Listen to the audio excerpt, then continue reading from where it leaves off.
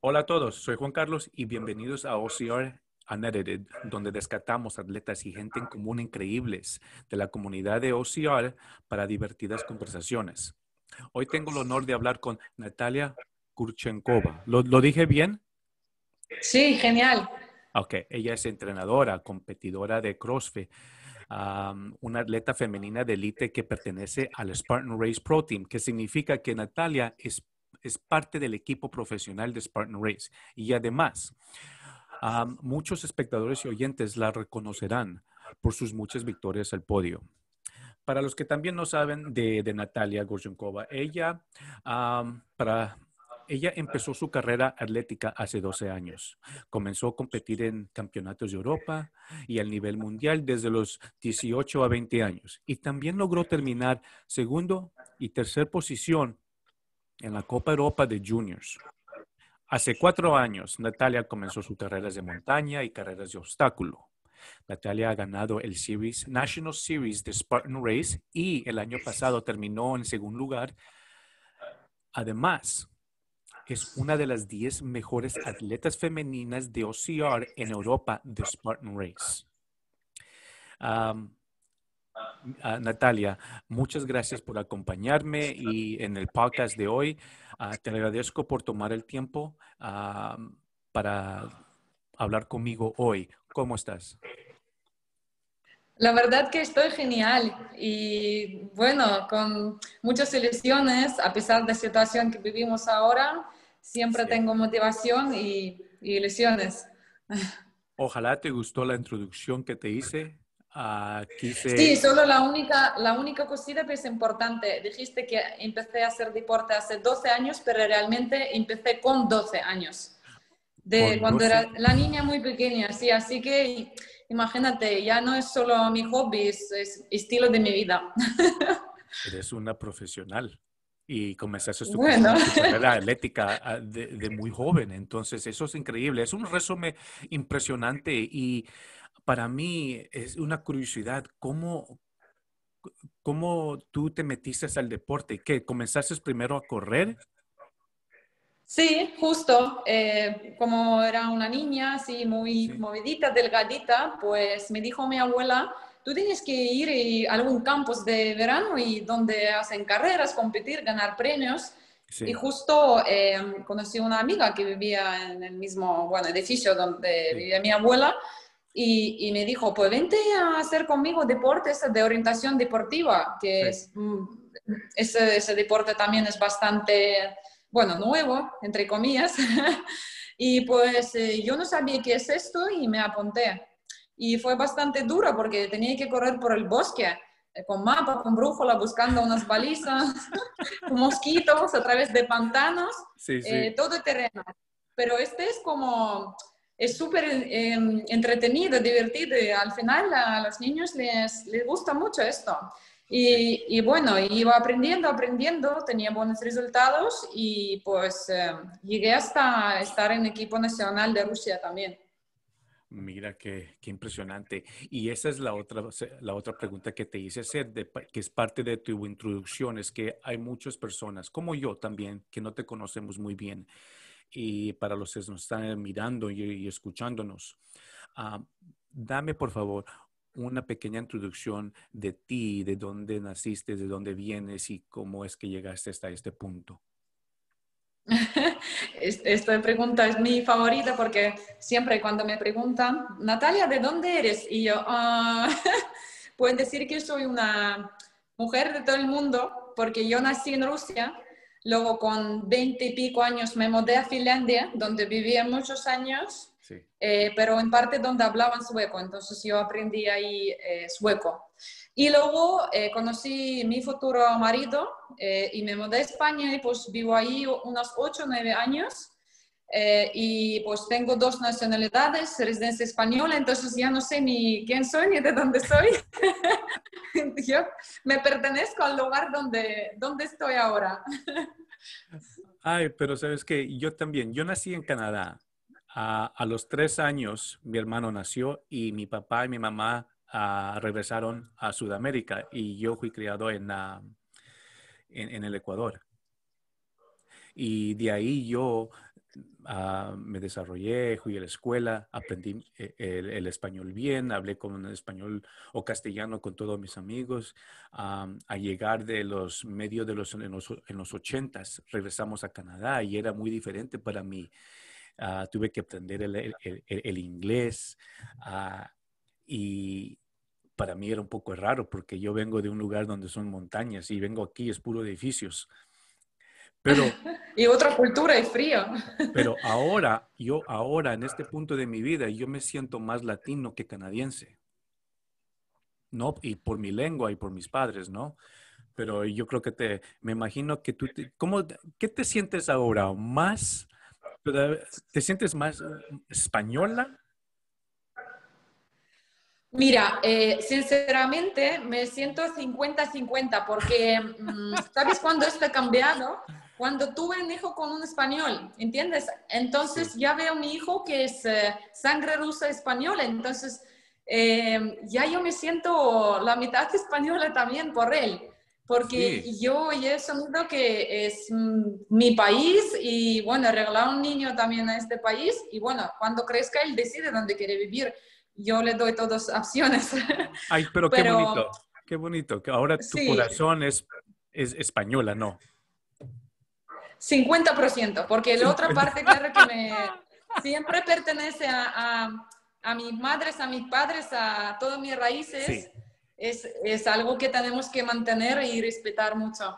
Sí, mira, antes de comenzar, déjame hacerte una preguntita. Cuando tú estás con tus padres, ¿tú hablas en español o les hablas ruso?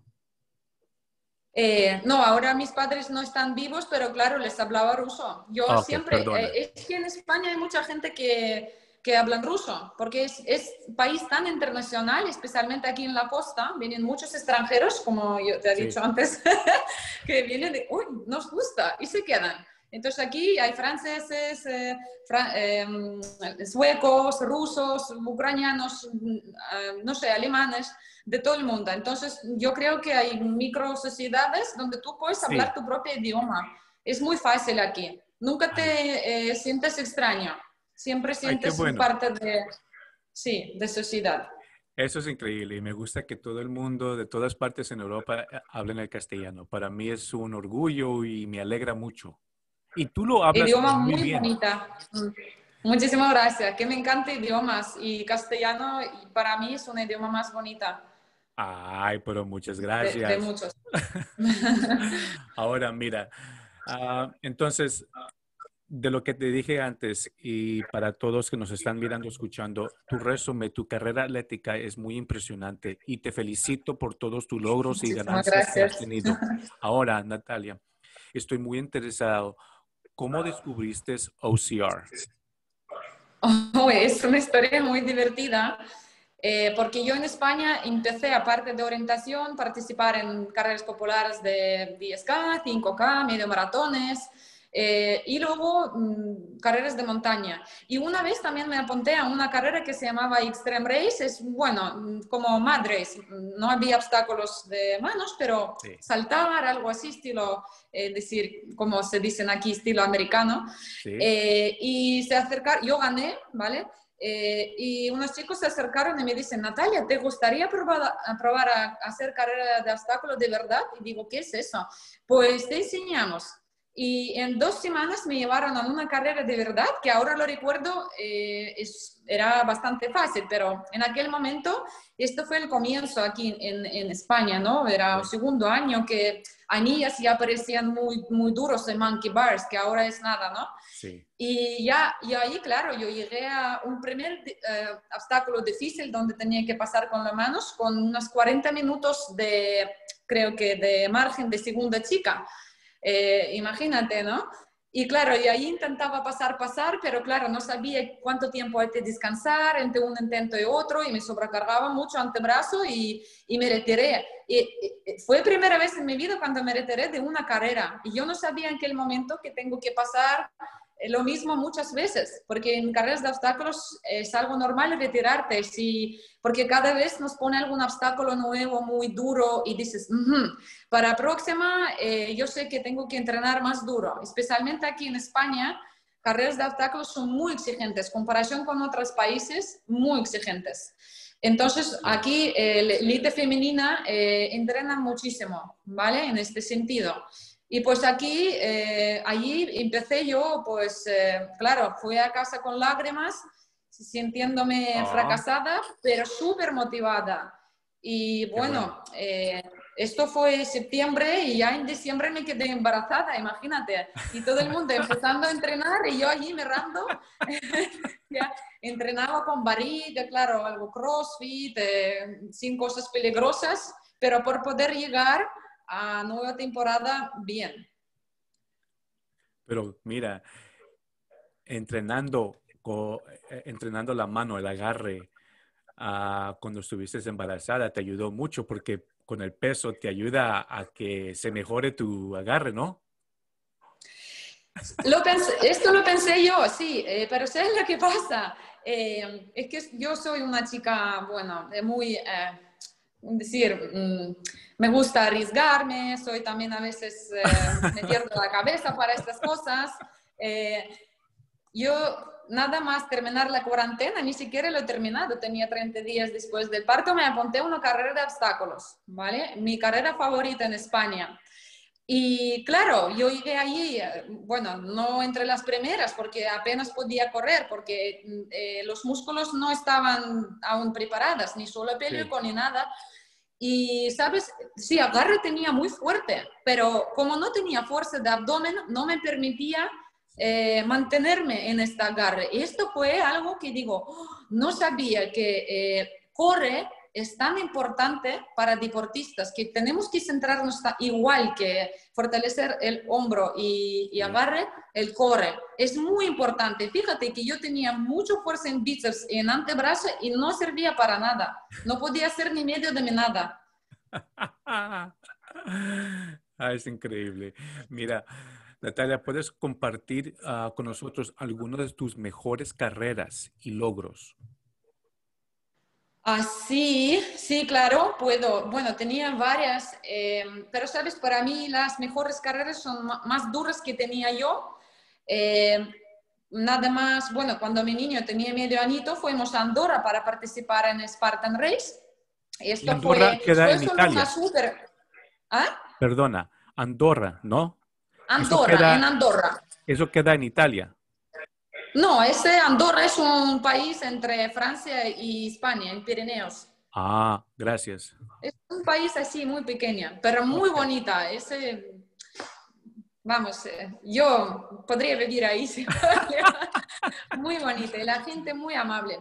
Entonces fue primera vez cuando yo fui a Andorra para competir y bueno, alquilamos una autocaravana con mi marido y fuimos con nene pequeño y cogí un virus mi niño y no dormí eh, cuatro días ni cuatro noches, tenía fiebre, y imagínate, yo igual. Y a mí hacía mucha ilusión esta carrera y claro, yo cuando salí, salí y me he dicho a mi marido, me da igual, como me quedo, yo voy a salir y respirar este aire tan puro de montaña y disfrutar. Y ya no sé, yo creo que mm, si si alguien cree en Dios o algo que existe, algo, este universo me dio mucha energía.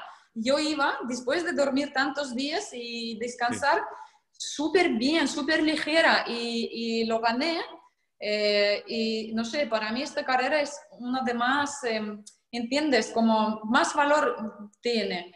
Y también, eh, bueno, había muchas carreras de Spartan igual, como campeonato europeo también, porque justo dos semanas antes murió mi padre ah, y fue una pérdida muy dura para mí y yo tenía que luego pues ir a europeo y también un poquito desconectar y disfrutar, mm, ¿entiendes? Y dar todo de mí, aunque a lo mejor el cerebro lo hace, pero el cuerpo estaba un poquito agotado, pero a pesar de esto yo me quedé pues en top 10. Claro, sin mentir me gustaría y yo estaba preparado para entrar en 5 o 6 mejores chicas y esto fue muy alcanzable. Pero luego hay circunstancias aparte y, entiendes que deporte es deporte y vida es vida. Entonces, mm, bueno, no a veces la vida tiene sus reglas, ¿vale? Y, tienes que aplicar esas reglas el deporte y ya está, y disfrutar. Pero, ¿entiendes? Mm, toda la fuerza dentro tenía que sacar para estar ahí y para hacer lo mejor posible de mí. Eso de tu padre, mira, con todo corazón, lo siento mucho. Ah, Muchísimas gracias, pero, somos todos humanos. Pero como un atleta, como tú, como tú dices, que tuviste que uh, ponerte las pilas y, ir a correr y, dar lo mejor de ti, eso no es fácil.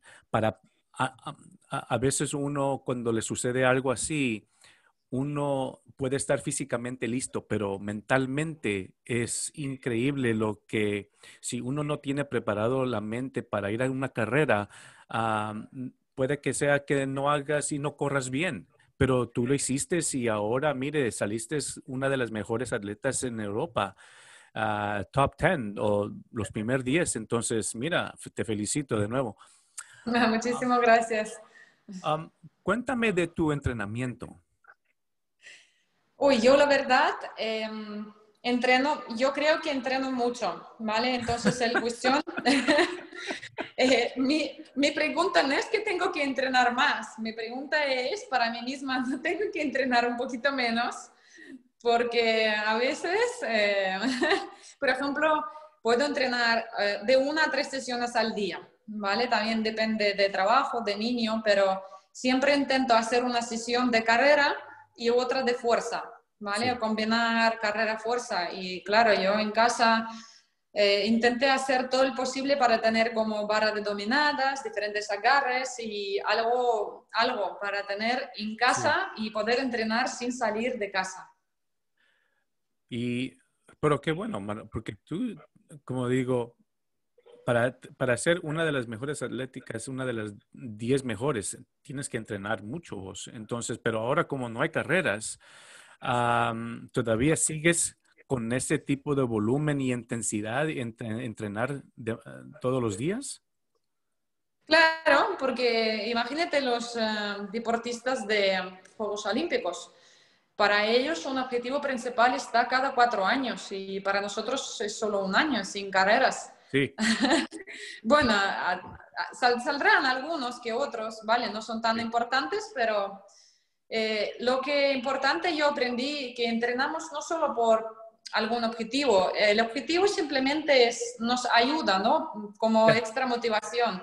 Pero yo creo que más entrenamos para nosotros mismos, para sacar siempre mejor versión de nosotros. Ay, mira, y así puedo, y en este nivel. Y y yo antes no sabía hacer dominadas, yo vine de, de deporte de correr.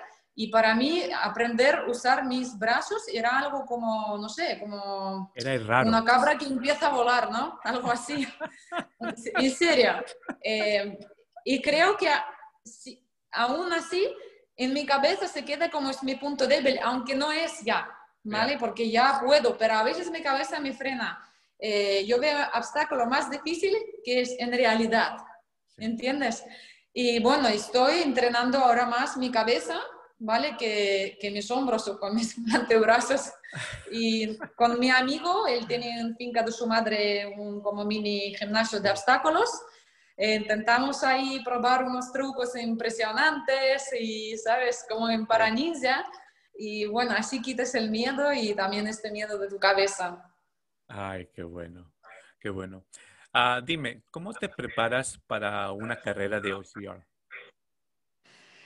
Pues carrera, mucho correr, correr asfalto, correr por la montaña, eh, series largas y luego, claro, em, yo intento ahora, pues como te he dicho antes, fortalecerme, entre comillas, punto débil, trabajar mucho fuerza de hombro y antebrazo, pero también no, no olvido de pierna. La verdad que tenía una, una lesión de de isquiotibiales que mm, tenía que parar un poquito con entrenamientos de pierna porque me causaba mucho dolor, pero ahora estoy volviendo. Entonces yo creo que atleta de OCR es deporte tan nuevo que cada uno encuentra su fórmula, ¿vale? Y yo intento hacer 50-50, pues la mitad carrera, ¿vale? O no, 150, 100% carrera y luego eh, como cada segundo día o, cada, cada, día, pues hacer algo de fuerza, un día más, otro día un poquito menos.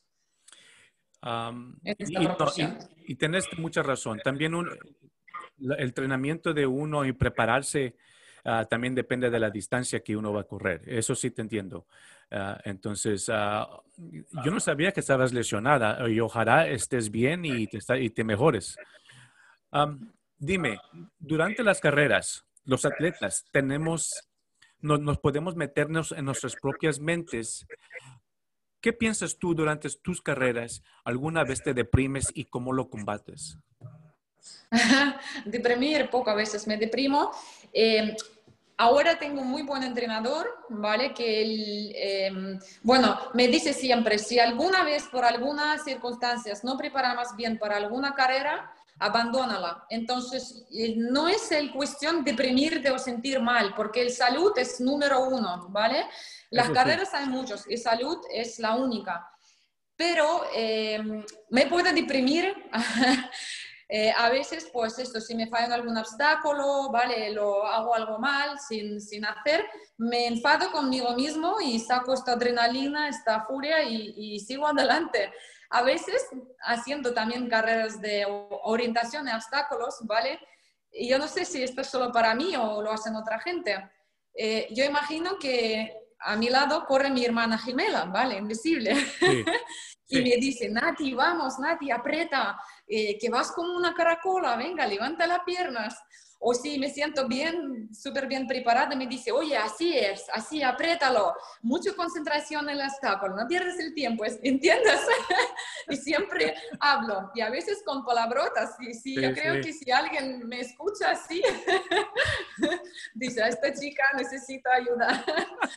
Pero es, una manera de, de hablar con, con mi interior, ¿no? Sí, sí. Ah, qué bueno, me hace reír. Mira, hablemos de recuperación. ¿Cuándo sabes que debes dar un paso atrás para dejar que te recuperes? ¿Cómo tiendes tu recuperación?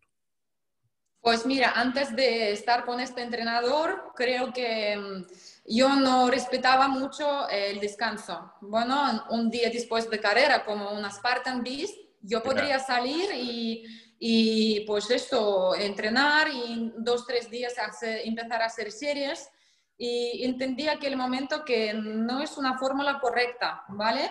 Y ahora mi entrenador, hablamos con él cada dos días, cada tres, porque él vive en Rusia y siempre me hace unas preguntas cómo me siento em, y adaptamos. Y me dice, no, espera un ratito, no, yo quiero salir a correr, no, eh, mañana, haz bici o algo así. Entonces, y yo veo que él tiene razón, ¿vale? Porque yo necesito un entrenador que me, que me ayude en esto, porque deportistas de élite solemos sobreentrenarnos. Eso sí. Y a veces no, entrenamos tanto que nos quemamos. Sí, es, eso es. Es lo que me pasaba antes eh, muchísimo. Entonces, no vayas a entrenar mucho. Descansa un poco. Sí, eso es lo que te dije en, en, el principio de entrevista, que es cuestión a lo mejor de hacer menos, no más pero con más calidad. Y ahora tu entrenador te dice lo mismo y te lo grita, descansa. Me, sí, me, lo grita. Después de Spartan Beast, ahora de, en Andorra que tuvimos hace poco, yo tenía que descansar casi tres días, aunque me sentí bien, pero, pero no, descansa. Y la verdad que me recuperé súper bien. Y sabes que mi entrenador también me dice lo mismo y la señora me dice lo mismo, porque yo a veces yo a veces me olvido, y no es que me olvido, yo a veces pienso que, ok, yo me siento bien, voy a entrenar, pero a mí me dicen, no, descansa, deja que el cuerpo se recupere, te vas a quemar y después no vas a poder ah, a correr bien y te vas a lesionar. Entonces es importante descansar y yo también te entiendo y a mí también me gritan. ¿Sabes? Mi marido siempre me dice, ¿no quieres descansar hoy? Eh, no te toca hoy, descansa. Digo, si fueras mi entrenador, yo por ti descansaría cada día. no entrenaría nunca y sería también. Eh, la vida de un entrenador, descansan. Mire, ¿cuáles han sido tus luchas físicas en las carreras de obstáculo? ¿Cómo lo has superado? Hoy, mira, una de las más fuertes luchas físicas, dos, ¿vale?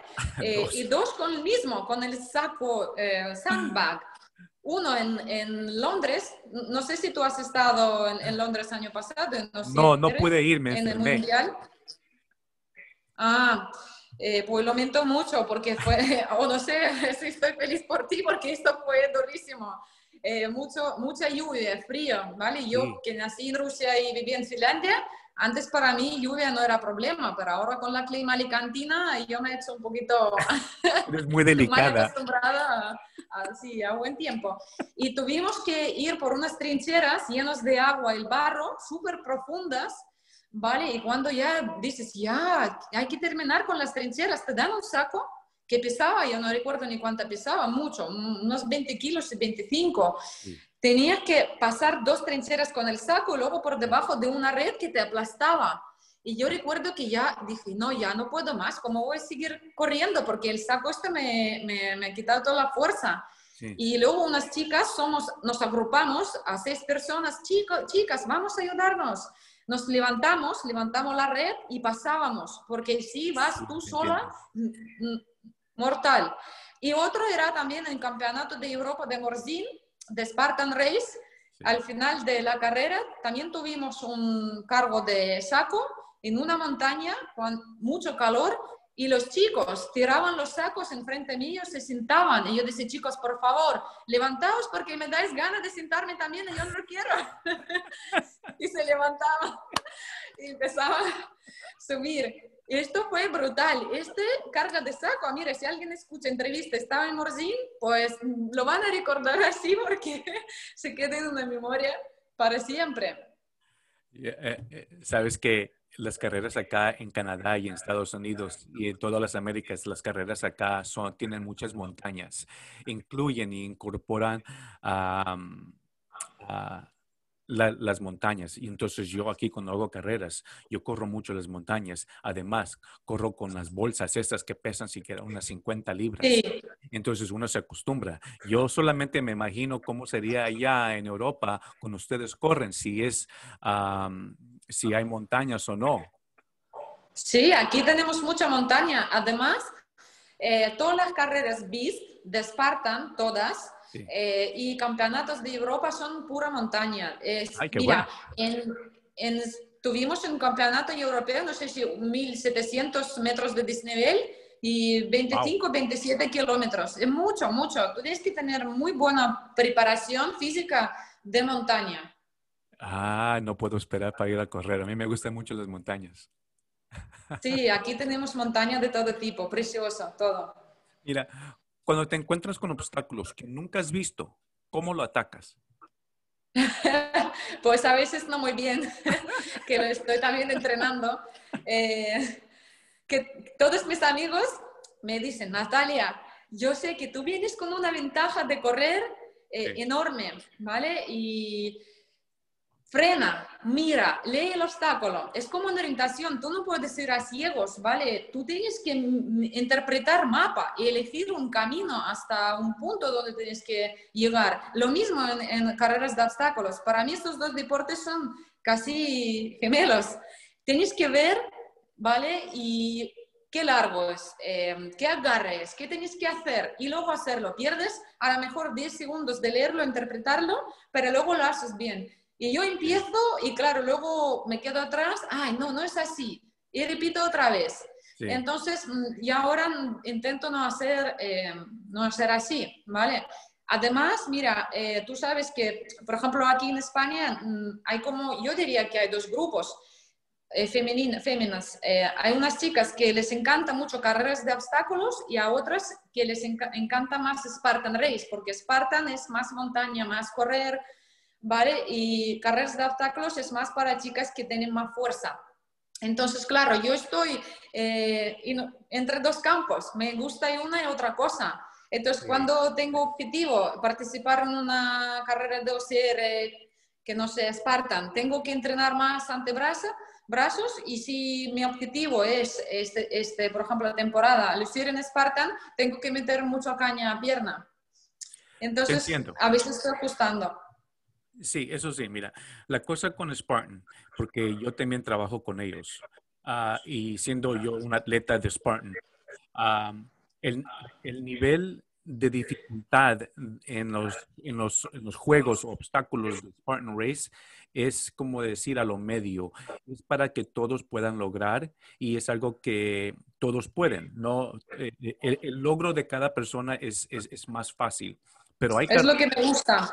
Hay carreras como Visto Race y otras carreras que ustedes tienen allá, que el nivel de dificultad es tan alta que no es para todos. Entonces. Sí, ¿sabes mi opinión? Bueno, cada uno tiene su opinión según sus gustos, pero mi opinión que mm, carrera tiene que ser siempre dinámica. No hay que romper el ritmo de carrera, ¿vale? Porque, mira, en Spartan mucha gente dice, no, obstáculos son fáciles. Mira, yo año pasado fallaba mucho en el twister. Es un obstáculo muy fácil, pero largo. Pero sí, yo voy muy agotada con alta velocidad y empiezo a hacer twister, no llego al final. Entonces yo eh, ahora, en, pues digo, vale, tengo que hacer algo para poder pasarlo, ¿vale? Entonces, fíjate que yo siempre llevo guantes solo para el twister, no para cualquier otro obstáculo. Porque es como mi, eh, ¿cómo se llama en, en castellano? Eh, ah, no sé si en inglés es amulet, algo así, una cosa que te siempre trae la suerte, ¿no? yo ahora puedo hacer twister eh, para allá y para acá, ¿no? Pero siempre me gustaría sacar mis guantes y hacerlo con guantes, ¿entiendes? Y ahora por temas de COVID también me siento más seguro. Pero siempre digo que para carreras de Spartan tú tienes que ir a tan alta velocidad que hasta un obstáculo fácil tienes que pasar súper rápido y no cometer ningún fallo, porque en el fallo te hace hacer burpees y ya tu carrera está perdida. Sí, y como lo dije antes, eh, lo, bueno, lo bueno que tiene Spartan Race es que uno puede correr a una velocidad alta y lograr los obstáculos a una velocidad alta porque uno puede lograrlo y eso es lo bueno. Hay otras carreras que ustedes tienen que aquí también tenemos iguales como digamos el Savage Race aquí en Canadá. Ustedes digamos usemos por ejemplo usemos por ejemplo Visto Race. El, la dificultad en esas carreras es que uno no uno puede correr rápido, pero cuando llegas a un obstáculo tienes que bajar la velocidad a un porcentaje tan grande porque el, el, nivel de dificultad de cada obstáculo es muy alto. Entonces, uno no puede correr a la misma velocidad que uno corre en Spartan Race. Sí, sí, estoy de acuerdo. Pero, ¿sabes, Juan Carlos? Qué interesante. Yo año pasado, por ejemplo, eh, me daba por probar cosas distintas. Yo refiero, voy a experimentar con esta carrera. Voy a intentar correr eh, lento porque para mí nivel eh, lento para algunas chicas es rápido, pero yo voy con pulsaciones, vamos, puedo hablar, puedo bailar, puedo ah, comer pipas, ¿vale? No, exagero. Pero imagínate, venía obstáculos y no tenía adrenalina. Y a veces no les pasaba porque me aburría tanto, digo, no, no es lo mío. Lo mío es eh, entrenar velocidad y, y, con este lactate que ya está en la sangre, eh, aprender a pasar los obstáculos. Si quiero ser mejor del mundo en este deporte. Porque las chicas campeonas del mundo son mm, atletas de, bueno, son atletas de alto nivel, corren rápido y son muy fuertes. Y allí es cualquier fallo ya, eh, y tú pierdes la medalla del mundo. ¿Entiendes? Y, y, yo lo veo y cada una tiene su mm, punto débil, su punto fuerte. Pero es lo que me motiva mucho, ¿sabes? Que yo tengo que entrenar para estar excelente en todo, no solo ir andando hasta obstáculos y luego superar, ya no es deporte para mí, ¿entiendes? Pero es solo mío, yo no sé, cada chica tiene su, sus pensamientos, su estrategia, pero yo quiero lograr esto, es mi objetivo. Pero qué bueno, mira, sabes que yo te puedo dar el teléfono, el teléfono de, uh, de Lindsay Webster y le puedes llamar y hablar con ella. me, parece una chica encantadora. ah, ella es increíble. Mira, ¿cuál es tu obstáculo favorito? Mi obstáculo favorito. Pues eh, es, la verdad, mira, eh, no tengo ningún obstáculo favorito, pero me encanta, sí que me encantan unos obstáculos de suspensión eh, que no sean, que sean variables, ¿entiendes? Que como aquí tenemos en, en, España, por ejemplo, diferentes combos de diferentes agarres. Me gusta mucho, pero que sean eh, pasables, refiero, ¿no? Que las chicas puedan lograr. Pero en Spartan Race ya creo que mi obstáculo favorito es el twister, porque tenía siempre mucha lucha con él y se convirtió en obstáculo Wow, porque mira, acá muchos no van a decirlo, no van a decir eso. El, twister para muchos por acá es, ah, es algo, un obstáculo difícil. A mí me encanta. Yo lo he practicado y me encanta. ¿Y a ti que te gusta? Uphanger también, es chulo, ¿no? es increíble. Mira, eso es increíble. Ah, dime, ¿cuál es el obstáculo que te preocupa y te da miedo, que no quieres tocar? Eh, si hablamos de Spartan. Ah, de Spartan o cualquier otra carrera. Eh, bueno, mira, eh, tengo jabalina, es como un punto débil para todas las chicas aquí en Europa porque alguien de Estados Unidos, bueno, los chicos que vinieron a hacer trifecta de Estados Unidos, ¿vale? Dijeron que jabalina aquí es más, pesa más y también creo que distancia entre la baja de jabalina es más larga. Entonces ellos también cometieron muchos fallos. Eh, vale, entonces eh, jabalina, eh, luego igual Uphanger tenía mucho respeto porque si hace día de lluvia no es tan fácil, ¿vale? Pasarlo. Uphanger. He tenido dos experiencias que tenía que caer o ir directamente a zona de golpe porque no vale la pena. Eh, y bueno, sí, aquí tenemos nosotros también slackline. Yo no sé si esto hay en Estados Unidos. Eh, ese equilibrio es una cinta, ¿vale? Sí, sí, sí, la tenemos. Vale, esto también, ¿sabes? Eh, la verdad que este año no me he caído ni una vez de ella, pero el año pasado sí que había también. Y yo empecé a entrenarlo, no solo slackline, simplemente en bozo, en casa, porque es todo corre y, y nada más. Y bueno, sí, he logrado hacerlo bien y perdí el miedo. ¿Ves? Entonces ahora yo sé que pues estos tres obstáculos pueden causar mm, problemilla, pero todo depende también del tiempo.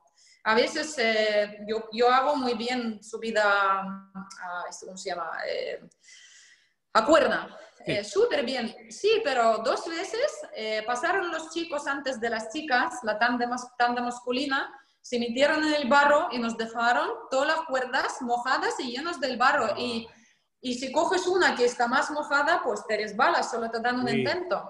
Y, y no ah. lo veas de primera. A lo mejor si coges más arriba, sí, ahora fue como algo... Ese, ese obstáculo es lo, es lo más peor cuando hay lluvia y hay lodo. Sí, Sí, justo. híjole, no me gusta cuando me lo dejan mojado. A mí me gusta que me lo dejen seco. yo digo, no sé si pasar con camiseta, quitarlo, poner guantes, no sé, pero normalmente pongo un guante y pruebo si ayuda y luego ya intento hacer. Ah. Pero no siempre puedes hacer eso, porque imagínate, si es solo principio de carrera, tú vas ahí a toda la hostia súper rápido y ya no tú vas a hacer estas cosas. Pero al final de carrera, si ves que no hay detrás a nadie, sí que puedes permitirte probar. Todo depende.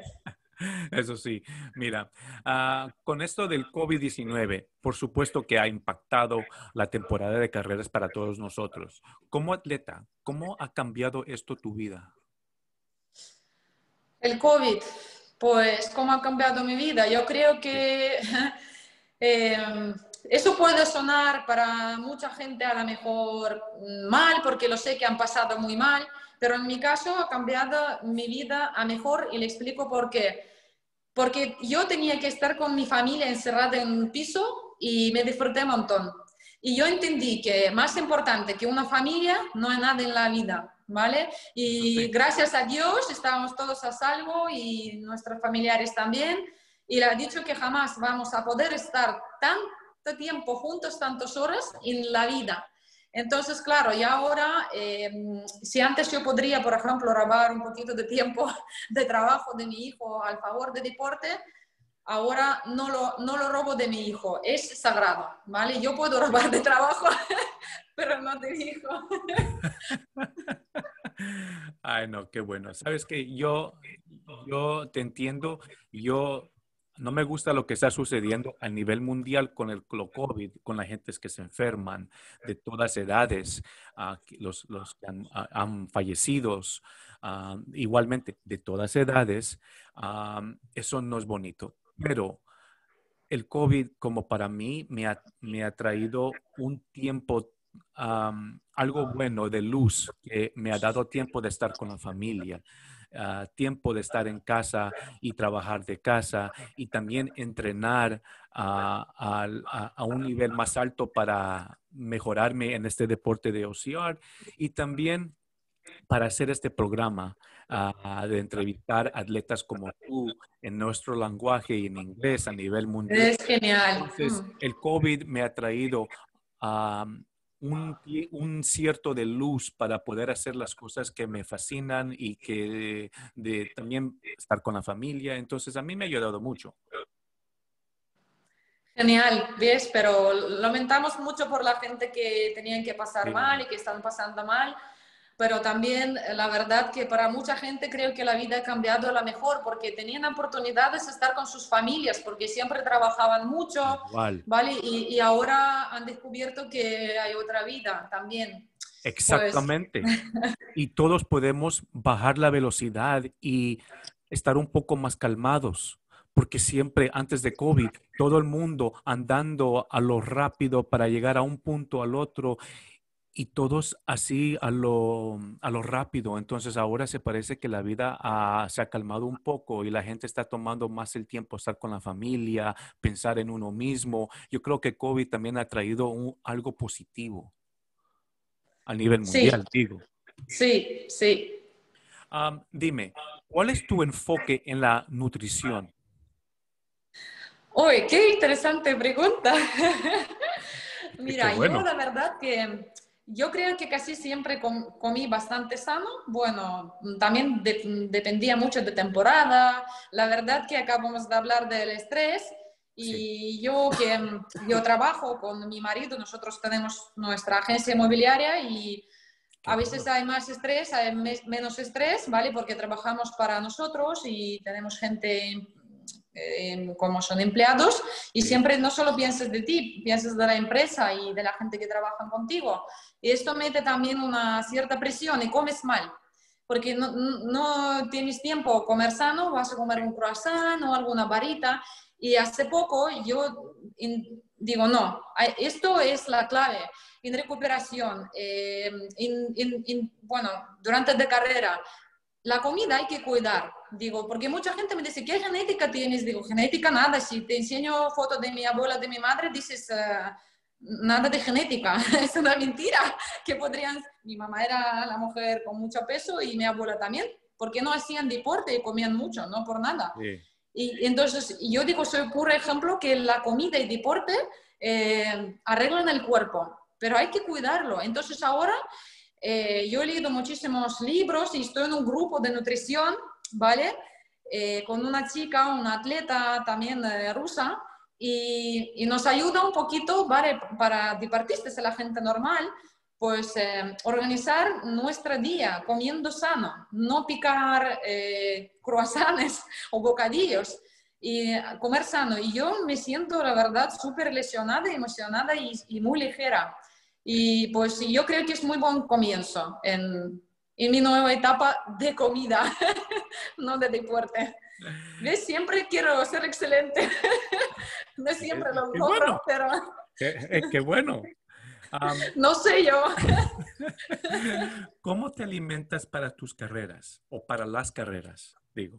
Sí, depende también de qué, qué, carrera hablamos. Si es una carrera de cuatro horas, claro, hay que hacer cargas de, carbohidratos, eh, pues también mantener comer proteína. Y si es una carrera pues eh, corta, de una hora, una hora y media, pues nada especial, sigo una dieta normal. Pero claro, para hacer una, es decir, una ultra, eh, hay que eso sí. prepararse.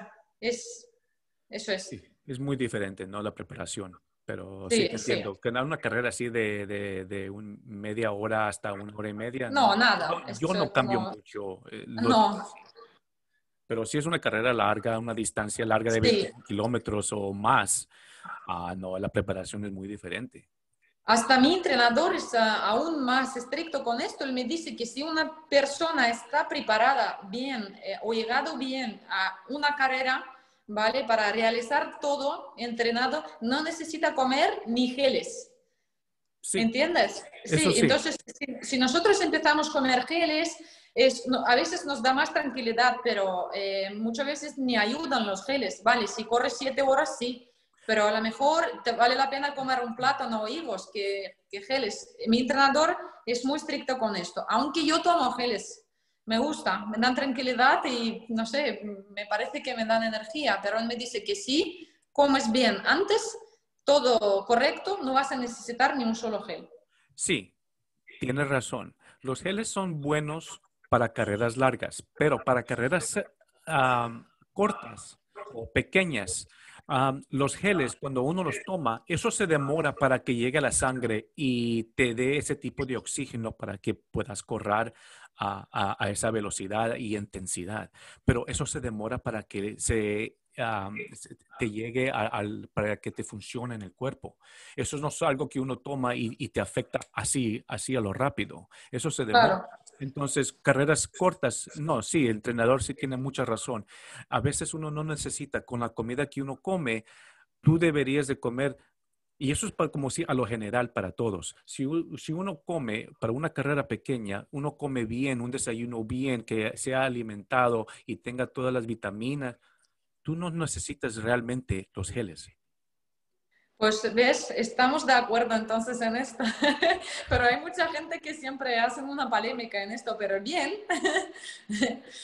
no, pero sí, no, tienes mucha razón y el entrenador se ve que él sí sabe. Sí, él sabe mucho. Ah, dime, ¿tienes algunos momentos memorables en la carrera de obstáculos que te inspiran o sean divertidas en tu carrera profesional? Divertidas. Eh, mira, la, carrera que más eh, me inspiró eh, fue relevo en em, Inglaterra, justo año pasado, en Mundial. Em, cuando nosotros en último momento formamos un equipo con las chicas rusas, ¿vale? Y ganamos, conseguimos segundo puesto en, en Pro Elite Female después de danesas.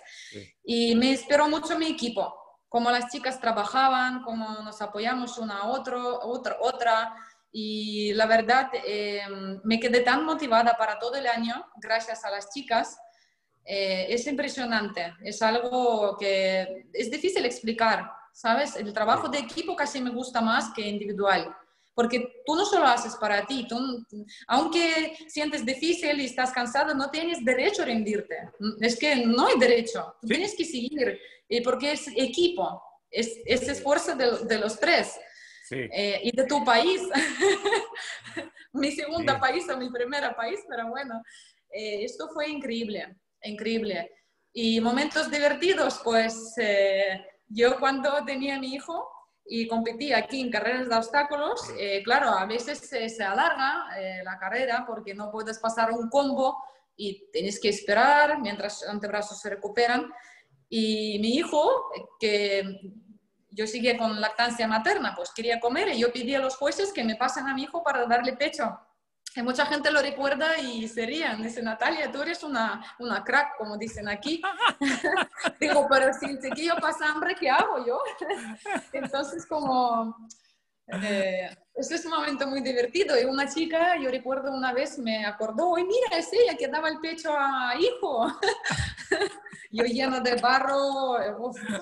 Ay, ay, ay. Sí. Ah, dime, ahora, ¿cuál es tu mayor inspiración? ¿Mayor qué? Tu mayor inspiración. ¿Qué te inspira? Mi mayor inspiración, eh, pues mi mayor inspiración, eh, mi padre era mi mayor inspiración. Explico por qué. Porque gracias a él eh, yo estoy en el deporte, ¿vale? Como él. siempre me, me, llevaba a unos sitios para esquiar en Rusia que hacía frío y yo tenía mucho hambre. Papá, quiero comer. Y él me sacaba un trozo de pan y digo, ya está, si ya está, no quieres, no comas. Y tenía que comer porque, claro, hace mucho frío, 20 grados debajo cero. Y nosotros con esquí, no había ni pista, lo hacíamos nosotros. Y, y bueno, y, y, cada vez cuando estoy en este deporte, digo, es que gracias a mi padre yo estoy en este deporte. Y bueno, Sí, yo solo debo a él. Bueno, y luego todos mis amigos y familia que me apoyan, esto claro, pero número uno es mi padre. Ay, qué bueno, qué bueno. Y yo sé que él está arriba escuchándote con una sonrisa. él lo sabe. Mira, entonces ahora, ¿qué podemos esperar de Natalia Gurchenkova cuando comience la temporada el próximo año de 2021? ¿Cuáles son tus metas? Pues mis metas, eh, sí quiero, eh, bueno, estas fueron metas para este año, pero como no, no fue posible, me gustaría, me gustaría eh, quedarme en mundial de, de, obstáculos, si hablamos de, de, obstáculos normales, entre top 6, ¿vale? Um, porque yo, yo sé que hay chicas muy buenas y, y, entrenan muchísimo, ¿vale? Por eso top 6 para mí sería un objetivo real, ¿vale? El top 3 sería la bomba. y, y, lo mismo en Spartan Race también, lo mismo. Me gustaría, pues... Eh, lograr lo más alta posible. Y en 2022 ha dicho a mi marido que quiero ganar un millón de euros. Qué bueno. Trabajando. Ah, míralo, qué bueno. Él Para que me permita entrenar mucho. Ahora dime, ¿te gustaría anunciar, a mencionar a cualquier un sponsor que tengas? ¿Quieres anunciarlos? Eh, sí, bueno, sí, tengo, tengo varios sponsors colaboradores, ¿vale? Muchísimas gracias primero a Inverse, es una marca de ropa deportiva, ¿vale? Personalizada para equipos que nos patrocina como para, para ropa de correr en Spartan Race y también una marca de zapatillas, eh, Envy, es como Envy Me. Ya, las medias. Sí, que la, que la, verdad estoy disfrutando mucho. Para, para mí, eh, la ropa de deporte no es un capricho, es como segunda piel. Tengo que estar muy cómoda en todo que me, me pongo encima. Claro, ¿no? y también a nuestra empresa, porque la valor de, de, de esto es el tiempo que me dan para entrenar a pesar de dinero, ¿vale? Sí, ay, qué bueno. Ay, qué bueno, qué bueno. si la gente está buscando saber más de ti, ¿a dónde pueden ir? Bueno, yo a mí me encanta mucho redes sociales, eh, no estoy mucho en Facebook, pero en Instagram sí, porque la verdad que mm, como tengo amigos por todo el mundo, ¿vale? Eh, siempre intentamos seguir unos a otros y yo aprendo también de mucha gente a través de Instagram y espero también que ellos puedan aprender algo de mí. Saben que se puede eh, compaginar trabajo, familia y deporte, no solo deporte, alto deporte. Todo se puede. Es, eh, es cabeza, son horarios y mucha disciplina. Y por cierto, lo más importante, amar lo que, lo que haces. haces. Sí, eso sí, eso sí. mira, Natalia, llegamos a ese punto de ya al final y ha sido un gran placer hablar contigo, Natalia. Igualmente. Aprendí mucho de ti, uh, nos reímos y fue, te, te, digo que estoy muy alegre en tener la, esta oportunidad de sentarme contigo, aprender, saber, saber, mucho más de ti y Ojalá, uh, primero Dios, que pueda yo llegar a, en diciembre allá y verte correr y, y, y, ser, como aquí lo decimos, un cheering fan y, gritar por ti. Um, uh, te deseo también lo mejor en tu entrenamiento y espero que te podamos ver, a ver corriendo muy pronto. Si no este año, uh, el próximo, la nueva temporada. Muchísimas gracias. También quiero también darle gracias a Alfredo, que por medio de él, que él fue que me ayudó a comunicarme contigo y tener la oportunidad de tenerte aquí en este programa de OCR Unedited. Entonces, de nuevo, te agradezco por el tiempo que has, uh, uh, me has dado para hablar contigo, uh, que disfrutes de tu día y para todos los que nos están mirando y o, escuchándonos, gracias por, por tomar el tiempo y vernos y escuchar. Ojalá les gustaron y que me las pasen bien todos y Dios los bendiga. Gracias a todos y gracias a ti. Muy amable y espero gracias. que seamos más cada año atletas de OCR, deporte fantástico. Y cuando llegue y cuando yo llegue allá en, en, persona, te voy a entrevistar de nuevo en persona, cara a cara y, ah, y a muchos más. Entonces, ah, estoy muy contento y ojalá eso pueda suceder. Tú más que bienvenido a, aquí, sabes, si te hacemos eh, una entrevista a España y bueno, bienvenida, te va a encantar. ¿Sabes qué? Yo le estoy diciendo a todos, a, comuníquense con Alfredo para que él ponga las pilas y me lleve. ya, ¿para qué esperar el diciembre? Pero oye, oye, no, no, no traigas esquí, aquí no nieve, ¿eh? Déjanos en Canadá. Las chanclas y bañador para Canarias. Ah, eso sí, ay, sí. Entonces te me cuidas, muchas gracias y a todos que les vayan bien.